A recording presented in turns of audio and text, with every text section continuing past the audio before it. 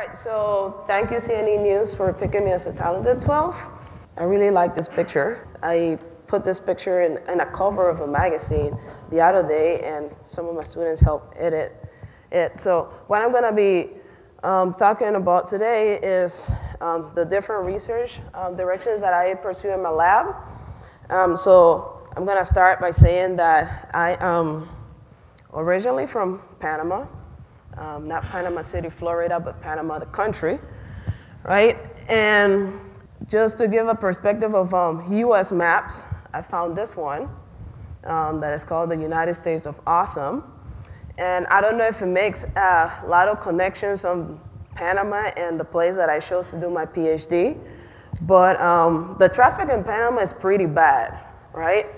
And so it's not why I wanted to escape Panama to some extent, but from Panama I went to New York, and apparently New York has the best transit use.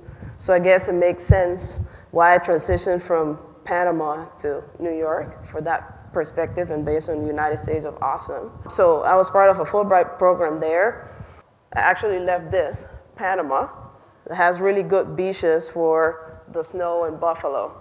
So it was a big change for me in terms of weather. So I was actually cold in July. So imagine how much is suffering December. Right? So then coming back to the map, um, I went a little bit southeast um, to Princeton University where I got my postdoc. And then after that, I went to the state of highest reported well-being, which is the state of Utah, where I'm currently an assistant professor of chemistry. All right? So what, of my, what is my research about? So we care about um, nanoelectronics and we want to control material properties at the nanoscale level. And why that is so important is because whenever you start scaling down materials where quantum confinement size effects start to take place, then a bunch of chemical and physical phenomena emerge. Then from there, you can think about, well, new methods and new materials um, that can be assembled into functional devices, right? We always talk about we want the smallest cell phone or the smallest electronic that we can do, but that is just possible if we engineer materials in such a way that we can assemble them into functional devices, right? So the trick here is that we can control um, materials properties at the nanoscale level, but then there is a bunch of different questions that emerge, right? But at the end of the day, the most important question that we're trying to do is wire the nano, whatever we get at the nanoscale with real-time applications. And that is a challenge, right? Because most of the time you will have the magic material that just don't like to be in that device, right? So then how do we actually control those interfaces? And that is extremely important for me. Okay, so the way that I run my lab is that we go from materials to devices. So even though that we like materials, we actually want devices that are functional, right? So we work on the synthesis of inorganic materials. So these are called metal chalcogenides, transition metal chalcogenides because we have elements from the transition, transition elements of the periodic table, and then we have chalcogens, which is sulfur, selenium, and tellurium, right? And from there, what we want to do is that even though that we can make these materials and um, the, the scale means that they're actually in the nanoscale, um, it doesn't translate into a functional device. So what we want to do is actually use these devices to understand defects in these systems, right? So even though that I have a perfect material at, uh, in terms of like size morphology, how does defect affect the properties of these systems? So we actually do a lot of um, field effect transistors to understand defects in systems, but then we are also looking at flexible materials, in this case organic molecules, and we are actually doing the same thing and understanding how defects at the organic scale level are affected in materials, right? Um, we also look at hybrid inorganic organic materials, and again, we synthesize different uh, varieties of these uh, materials that have exceptional physical properties. But most, more importantly, we want to have a good handle of the morphology and orientation of these materials. And we coupled that with sophisticated uh, physical um, characterization to understand all the excitonic properties and the optoelectronic properties of these systems, and then we make functional devices with them, right? So we make solar cells, but most importantly, this is a stack of a solar cell. And if you listen to rap, you will um, notice that there is uh, a song that says more money, more problems. So the same thing applies here. So the more interfaces, more interfaces you have, the more problems you have, right? So the idea is that we are trying to come up with um, uh, fabrication methods in which we can decouple all the diff- or remove all the different interfaces and then see what happened at all those different interfaces. And that will give us the right guidelines in order to control device performance, right? We also synthesize vertically oriented uh, materials uh, for solar cells. So these are very um, talented undergrads that are actually um, working on this project, and they have made these PN heterojunctions also for solar cell applications and the counterparts for the, um, from the organic um, perspective, which are these um, perylene diimide dimers.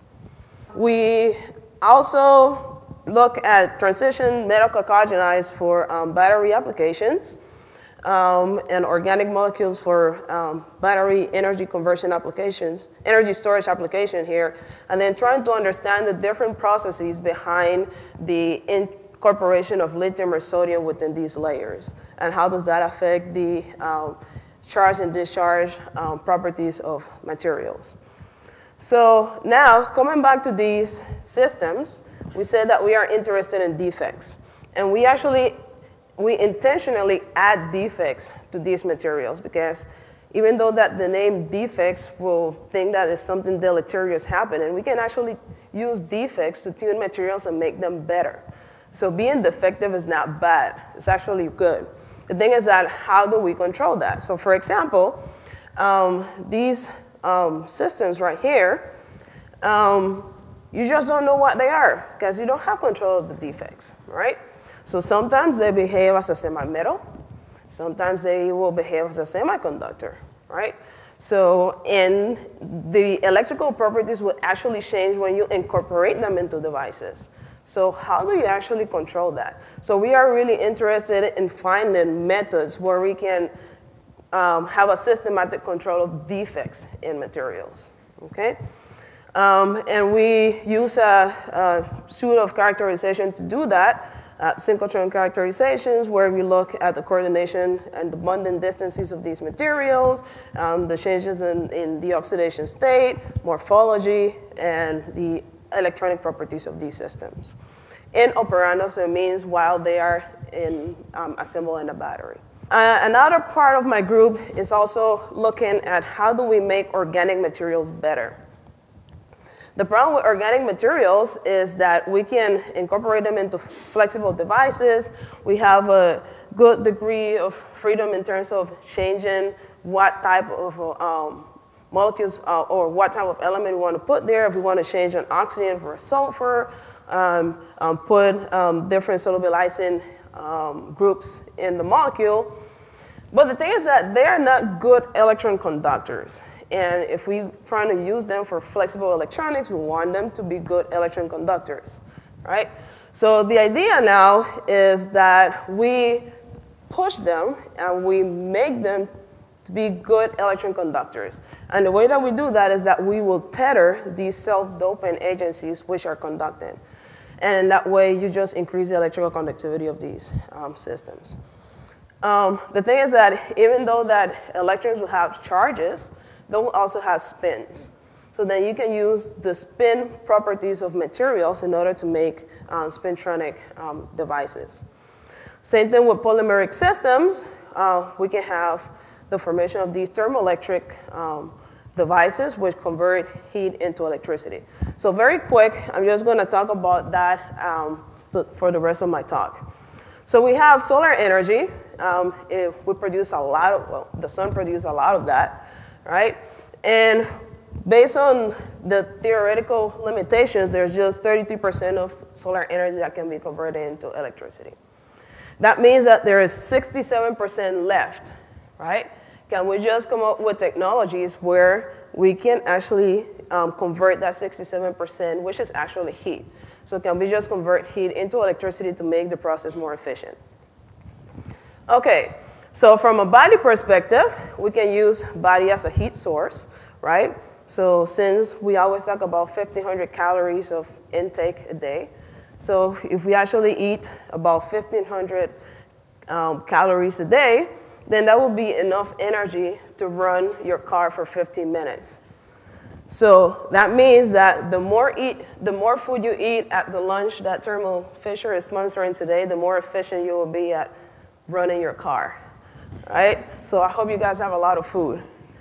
All right, so then from that, then we can use our own body um, as a um, source of heat conversion.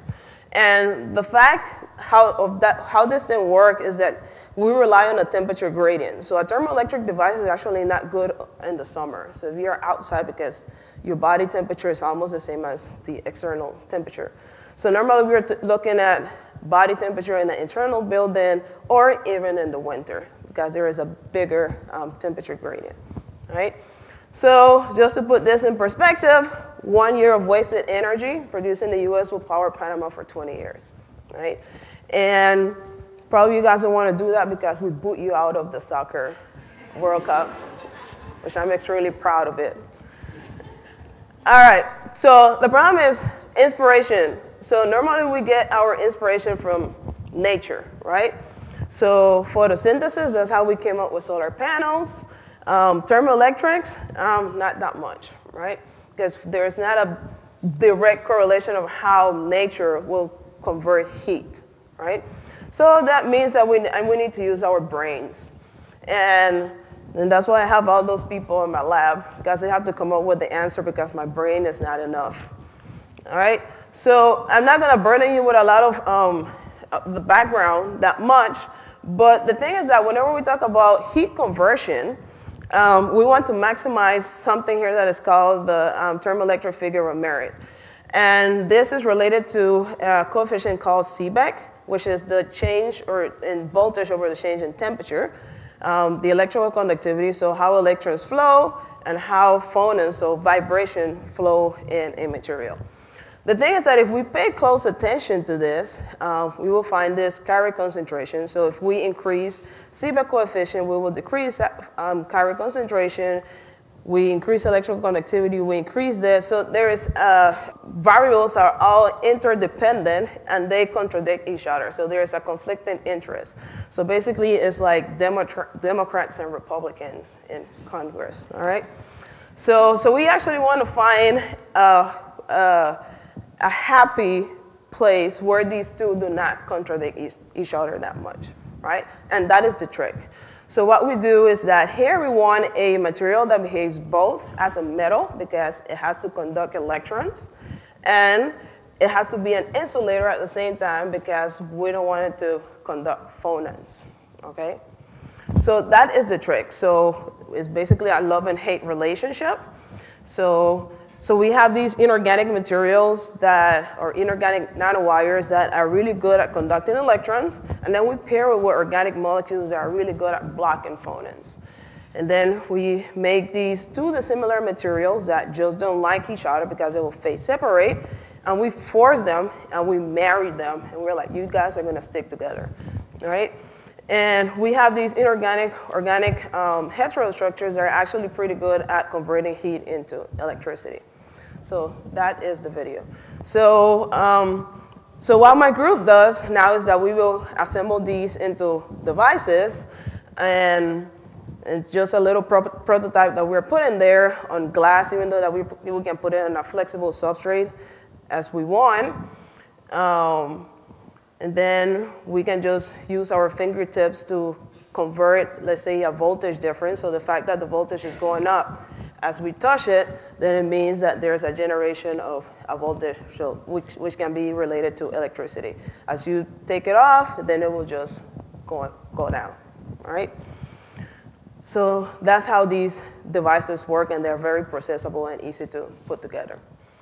And you can do it the other way around, so you can apply a negative um, um, on the other side, and then you will see a negative voltage come in.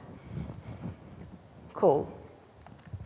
All right, so just to finish, so I would say that it all started here with the Jetsons, right? Um, and we actually want to do all these stuff, and the problem is that we are actually harming the world whenever we do this, right? So there are, and, and I actually like this, even though that I didn't know, I didn't have a clue who Richard Nixon was, um, being from Panama, but I actually like this um, quote because I, I took it from the EPA um, website, because apparently he was the founder of the EPA. I didn't know that either right? So, but the idea is that we have to start coming up with um, technologies where we um, do not harm our planet that much, right? And that is one of my driving forces as well, right? So with that, I would like to thank my team because they are the one that actually do all the work and the funding agencies that support the projects. Thank you.